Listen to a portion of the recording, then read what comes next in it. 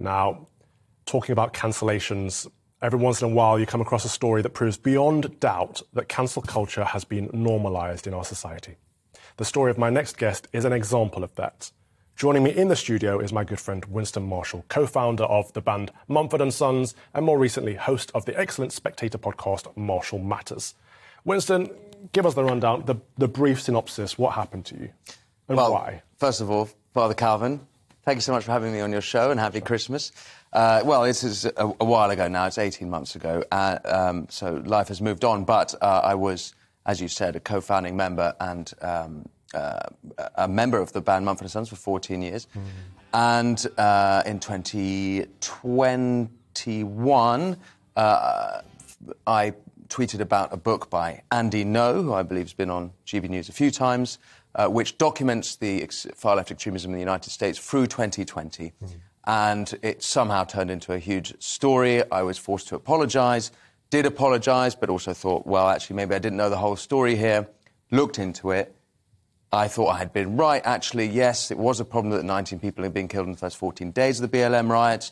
It was a problem, uh, mostly black lives, I should say. Mm. Uh, uh, there was a problem that many businesses were destroyed. So I stood by my original comment and uh, decided the only way forward was for me to leave the band. So that was that story. Yeah.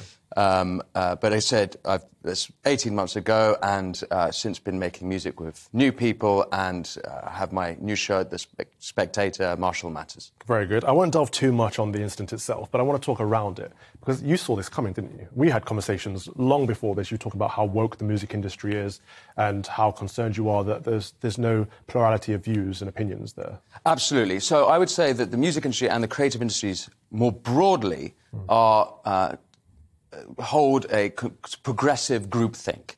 And I think it's absolutely normal that any community would uh, have a groupthink of some sort. If it's even GB News, I'm sure, has its own groupthink. You've riled against the, the BBC for having its own groupthink. If you were in the city, they would presumably be more free market. And it so happens that in the creative industries, and this is linked to personality types, mm people are more uh, progressive, I'd say, not liberal in the old sense, but progressive. Yeah. And so um, this became a problem. So, for example, BLM and, and, you and I were talking at the time. For those of us who had read the literature on Black Lives Matter, say, for example, the book by Patrisse Carlton Cullors, mm. we knew that this organization was explicitly Marxist. Mm. If you looked even a cursory glance into BLM, you could see that this was uh, anti family, anti Christian, and by anti Christian, I mean Marxism is an anti Christian doctrine. Yeah.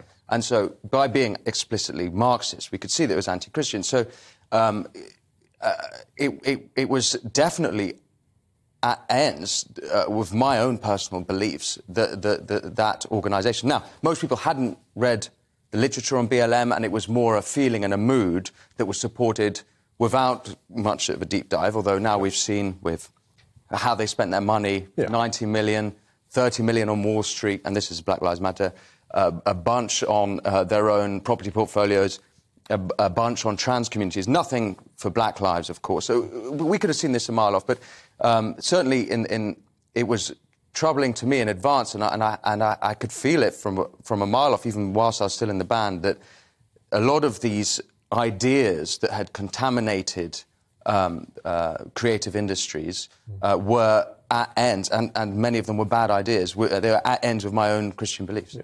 But the music industry used to be full of rock stars. It used to be full, full of people that were anti-establishment, would fight against the system, in inverted commas. It seems to me that they're on the side of this system now. They're on the side of the establishment, and they're not standing up for people, normal everyday folk. But that must be in a conflict with you if you are. You say you're a man of the faith, the Christian faith. How did your faith help you or hinder you in the creative industry?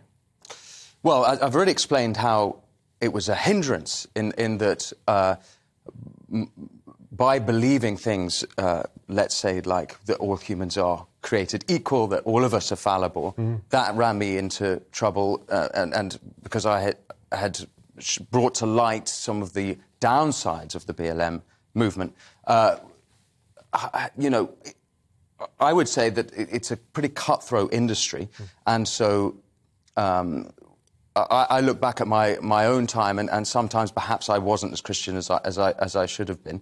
So uh, I, am not sort of pretending that I'm, I'm in any way. Uh, that's or, the point of being Christian, isn't it? We're all sinners, and none of us are perfect, or none of us are holy. Exactly, exactly. Um, so, uh, uh, yeah. yeah. So, how did it help you? Throughout your cancellation, did your faith give you any uh, hope?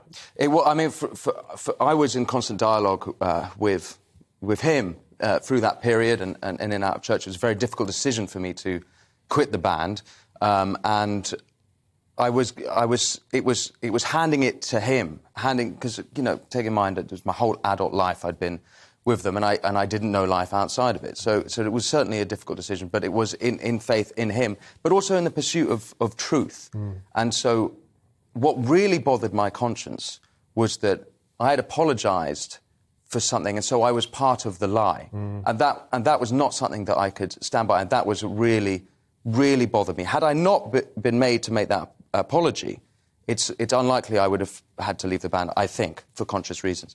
Um, so, uh, uh, where I've, my faith has helped me is, is that I've handed it over to him, and I have faith in him, but in the pursuit of truth, I, uh, my life will be m- more fulfilled meaningful, I guess, more, more fulfilled. Absolutely. And He is the way, the truth, and the life. Mm-hmm.